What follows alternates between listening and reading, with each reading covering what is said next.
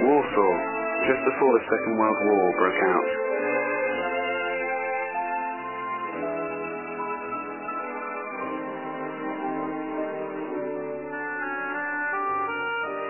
During the interwar period, there were more Jews in Warsaw than anywhere else in Europe.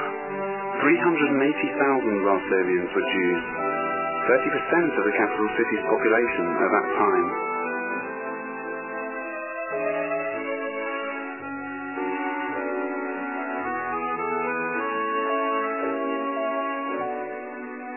Poles and Jews lived for many years on that same land in the same country. They lived together, side by side. One cannot make simple generalizations about their relationship.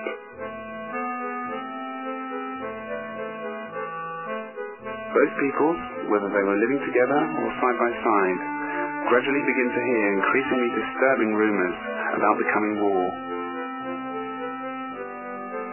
But not just yet. War may have been coming ever closer, but it was nevertheless quite distant.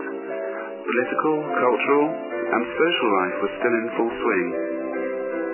Just before the war, Warsaw was one of the most important centers of Jewish culture in the world, with an active literary, artistic, musical, and theatrical scene, whose accomplishments were really noticed and appreciated beyond the Jewish community.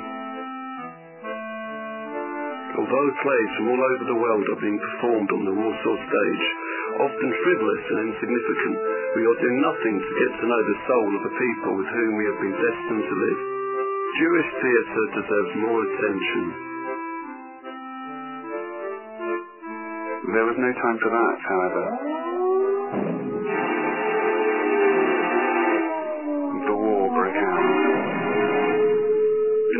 Army, Jewish soldiers gained the respect of their commanders.